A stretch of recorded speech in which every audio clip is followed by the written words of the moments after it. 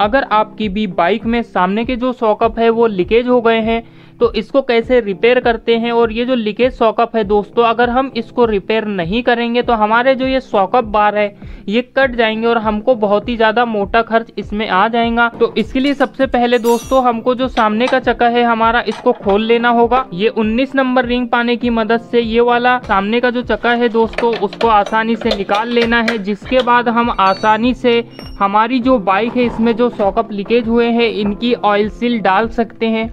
और oil seal कैसे डालते हैं? और इसमें कौन सी कंपनी की हमको लेना चाहिए? इसकी सारी जानकारी आज के इस वीडियो में हम आपको देंगे दोस्तों। तो जैसे कि आप ये देख रहे हो, हमको चक्का किस टाइप से खोल लेना है? ये आप ये देख सकते हो, हमने ये चक्के को खोल करके यहाँ से हटा दिए हैं। ये कुछ इस प्रकार हमने इसको हटा दिए किनारे में। ये जो मडघाट है, इसको 10 नंबर रिंग पाने की मदद से आसानी से खोल लेंगे हम, जो कि बहुत ही ज़्यादा इजी तरीके से खुल जाएगा। और इसके बाद हमारे जो सॉकअप बार है, इसको हम कैसे निकालते हैं और किस प्रकार इसको हम रिपेयर करते हैं? और इसमें कौन सा ऑयल लगता है? सारी जानकारी स्टेप बाय स्टेप आपको सॉकअप रिपेयरिंग से रिलेटेड हमारे आज की इस वीडियो में मिल जाएँगी ताकि आपको हमारे इस वीडियो के बाद सॉकअप लीकेज वाली समस्या का सोल्यूशन ढूँढने के लिए यूट्यूब में दूसरे वीडियो पे जाना ना पड़े दोस्तों। तो आप हमारे इस वीडियो में बने रहिए। तो जैसे कि दोस्तों, आप ये देख सकते हो, हमने सॉकअप बार से मटघाट निकाल लिए हैं चारों दस नंबर नट खोल करके। अब बारह नंबर रिंग पाने से हमको ये ऊपर वाले नट खोल लेना है दोस्तों, जो की बहुत ही ज़्यादा ईजी और आसान तरीके से खुल जाएँगे। जैसे कि आप ये देख सकते हो, हम खोल ले रहे हैं, ये वाले नट। जैसे कि आप ये देख सकते हो, इसमें बहुत सारा ऑयल लीकेज था। अब हम इसको ऐसे घुमा घुमा करके, घुमा घुमा करके निकाल लेंगे। आप ये देख सकते हो कुछ इस प्रकार। पर का नट खोलने के लिए हमको ये जो सॉकअप बार का ये वाला नट है, इसको फिर से कसना पड़ेगा। जब भी हमारा जो ये सत्तावीस नंबर पट्टी पाने की मदद से सॉकअप बार के ऊपर वाला नट आसानी से खुल जाएगा दोस्तों। आप ये देख सकते हो, ये वाला नट। अब इसके बाद हम दोस्तों इसको भी खोल लेंगे। जैसा हमने इसको खोले थे सेम टू सेम वैसे ही इसको भी खोल लेंगे। सत्तावीस नंबर पट्टी पाने की मदद से हम सॉकअप बार के ऊपर वाले नट को आसानी से खोल लेंगे दोस्तों, जिसके बाद हमारा एक कुछ इस प्रकार का डिस्टेंस निकलेगा, जिसके नीचे एक वाइसर लगा हुआ होता है दोस्तों, और स्प्रिंग निकलेगी फिर से एक और हमारी, जो कि हमको यहीं पर ही रख देना है तसले के ऊपर में, जिससे बहुत सारा ऑयल निकलता है। नीचे हमको बिल्कुल भी नहीं रखना है दोस्तों, नहीं तो हमारा जो सॉकअप है इसमें रेत चली जाएँगी बाद में स्प्रिंग लगाते समय। और इसका पूरा अच्छी तरीके से ऑयल खाली करने के बाद दोनों सॉकअप बार है, जिसमें से एक सॉकअप बार की आयल सील खराब थी, लेकिन हमने जो बाइक हमारी खोले हैं कुछ इस प्रकार तो हम इसकी दोनों ही ऑयल सील चेंज कर देंगे, ताकि हमारी जो सॉकअप बार है उसमें दूसरे वाले में जल्दी परेशानी या फिर समस्या बिल्कुल भी ना आए दोस्तों। अब हमको क्या करना है? ये है दोस्तों, हमारी सॉकअप टी, आप ये देख सकते हो, कुछ इस प्रकार की सॉकअप टी है ये। जो सॉकअप टी को कुछ इस प्रकार हमको यहाँ पे रख देना है और इसके बाद ये कुछ इस प्रकार की पिन रख करके हमको इसको ऐसे ठोक देना है दोस्तों। ये ठोकने के बाद ये जो एलंकी है दोस्तों, छह नंबर वाली एलंकी, इससे हमको क्या करना है, यहाँ पे एक एलंकी नट लगा हुआ होता है जिसको हम बहुत ही ज़्यादा इजी और आसान तरीके से खोल सकते हैं। ये कुछ इस प्रकार निकल जाएगा दोस्तों, हमारा जो सॉकअप है उसके अंदर का मटेरियल देख सकते हैं हमने, इसमें से पायली निकाल ली है यहाँ सॉकअप से। इसको निकालने की ज़रूरत नहीं है। इसके बाद हमको क्या करना है, इसका कवर निकालना है। एक पेचकस की मदद से दोस्तों, सबसे पहले हमको ये पाइली से ऑयल सील का लॉक निकाल लेना है। कुछ इस प्रकार जो कि बहुत ही ज़्यादा अच्छी तरीके से निकल जाएगा। और ये ऑयल सील निकालने के लिए कुछ ऐसे वाला पेचकस लगता है दोस्तों, आप ये देख सकते हो, टेढ़ा वाला, जिससे हमारी जो ऑयल सील है वो पाइली से आसानी से बाहर निकल जाती है। तो हमारे पास है हीरो की आई स्मार्ट बाइक, इसमें क्या होता है? हीरो की ऑयल सील लगेगी। ये देख सकते हैं आप, हीरो की iSmart Splendor Deluxe and Passion इन गाड़ियों में आयल सील एक सी लगती है। तो ये हीरो की आयल सील ओरिजिनल अंठानवे रुपये की एक आती है, यानी सौ रुपये की ही समझो एक, ये दो सौ रुपये की दो आयल सील आती है। तो हमने इसका क्या करें बजाज में भी सेम आयल सील लगती है, बजाज की फोरेस हो गई डिस्कवर हो गई, इनमें भी सेम आयल सील लगती है। तो हम ये वाली आयल सील डालेंगे, ये भी ओरिजिनल ही है। तो ये ओरिजिनल बजाज की ऑयल सील है भैया। हाँ ये ओरिजिनल बजाज की एल है और ये छप्पन रुपये की पड़ेगी, यानी ये एक सौ दस रुपये की दो पड़ जाएगी तो इससे क्या होगा, हमारे नब्बे रुपये आसानी से बच जाएँगे। तो इसलिए हम क्या करेंगे, ये हीरो की एल नहीं डालते इसमें इसमें हम बजाज की एल डाल देंगे। साइज़ दोनों का सेम ही रहता है, इसलिए हम इसमें बजाज की एल डालेंगे ओरिजिनल वाली। ये भी ओरिजिनल है और ये भी ओरिजिनल है। ये बजाज वाला ओरिजिनल बनाता है और ये हीरो वाला। तो हमको क्या करना है? बजाज की एलसील डालना है ओरिजिनल वाली तो इससे हमारे नब्बे रुपए बच जाएँगे। तो हम क्या करते हैं? याली एलसील को फिट करते हैं। तो जैसे कि दोस्तों, आप ये देख सकते हो, बिल्कुल कम बजट में हम आपको बता रहे हैं कि आप हीरो कंपनी की ओरिजिनल आइलसील भी लगा सकते हैं अगर आपका बजट है तो। नहीं तो आप ये जो बजाज कंपनी की ओरिजिनल आइलसील आती है दोस्तों, जो कि पचपन रुपए में आसानी से मिल जाती है, एक सौ में आप ये दो लगा सकते हो, नहीं तो दो सौ में आप ये दो लगा सकते हो। आप अपने हिसाब से लगा सकते हो दोस्तों। हम लगा रहे हैं बजाज वाली ऑयल सील तो कुछ इस प्रकार दोस्तों, ये जो हमारी ऑयल सील है, ये निकल जाएँगे और ये हमारी पुरानी वाली ऑयल सील है, जो कि कुछ इस प्रकार है, जिसको बैठाने के लिए आपको क्या करना है, पुरानी वाली ऑयल सील को साफ़ कर लेना है। की मदद से हम नई वाली ऑयल सील हमारे जो सॉकअप की पाइली है, उसमें बैठा पाएँगे।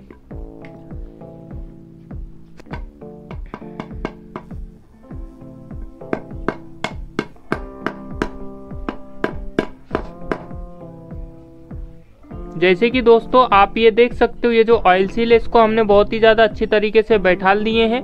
और इसके बाद अब ऑयल सील लॉक लगा देंगे हम कुछ। इस प्रकार ये हमने लॉक लगा दिए हैं यहाँ पे। और ऑयल सील पाइली का जो कवर आता है दोस्तों, एक रबड़ वाला, ये रबड़ वाला कवर भी हम आसानी से लगा देंगे इसमें।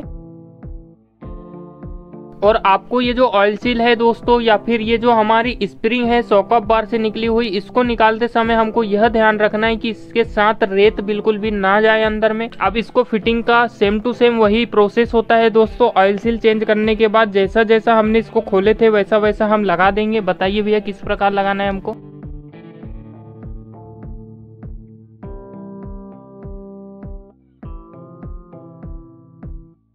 तो जैसे कि दोस्तों, आपने देखे थे पाइली के ऊपर में जो छह नंबर की एलंकी वाला नट लगा हुआ था, जिसको हमने पिन से ठोक करके खोले थे दोस्तों, इसको हमको जैसा का वैसा लगा देना है।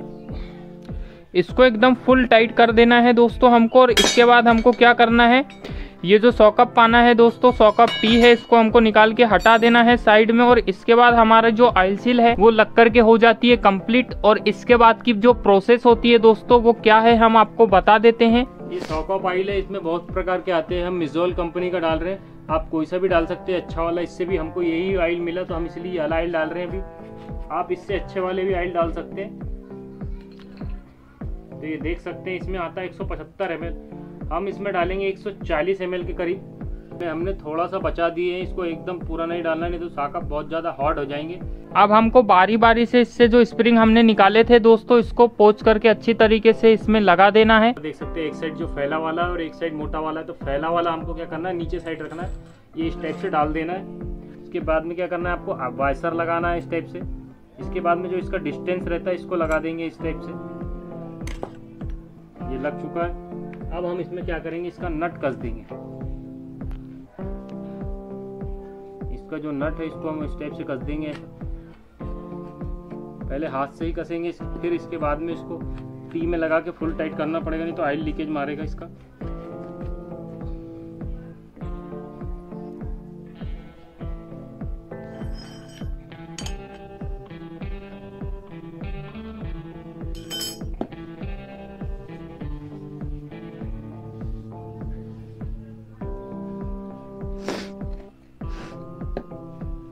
तो जैसे कि दोस्तों, आप ये देख सकते हो, हमारा जो एक सॉकअप है, ये कंप्लीट हो गया है। बस इसमें जो ये ऊपर का नट है इसको फुल टाइट करना बाकी है अभी, जिसको हम कैसे टाइट करते हैं, वो आगे बताएँगे। जब तक हम इसका दूसरा वाला सॉकअप आ रहा है, उसकी भी ऑयल से चेंज कर लेते हैं सेम टू सेम उसी तरीके से। आप देखते रहिएगा, हम इसमें बोलेंगे नहीं, लेकिन आपको स्टेप बाय स्टेप सारी जानकारी बताएँगे दोस्तों।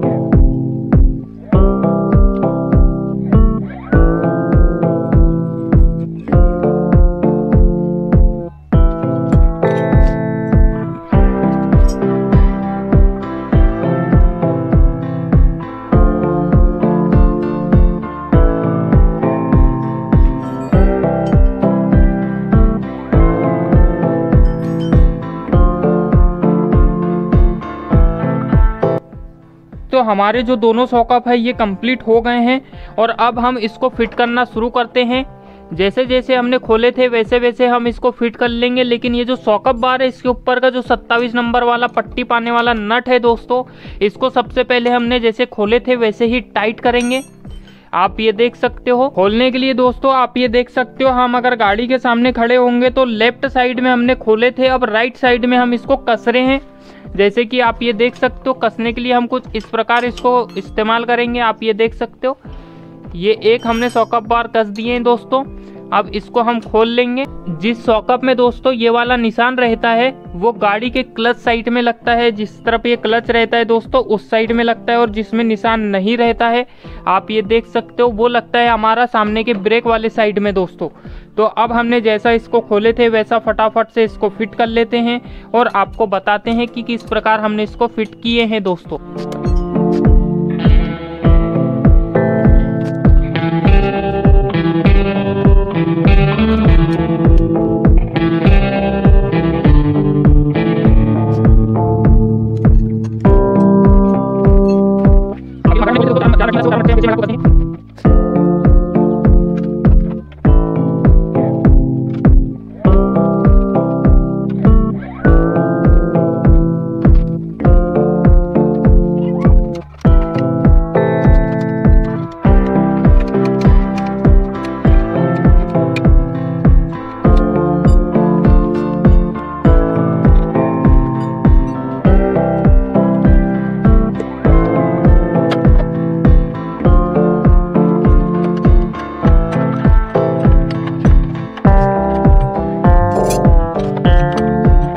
जैसे कि दोस्तों, आप ये देख सकते हो, हमारी जो बाइक है हीरो की स्प्लेंडर बाइक दोस्तों, जिसमें हमने सॉकअप में ऑयल सील डाल करके कंप्लीट कर लिए हैं।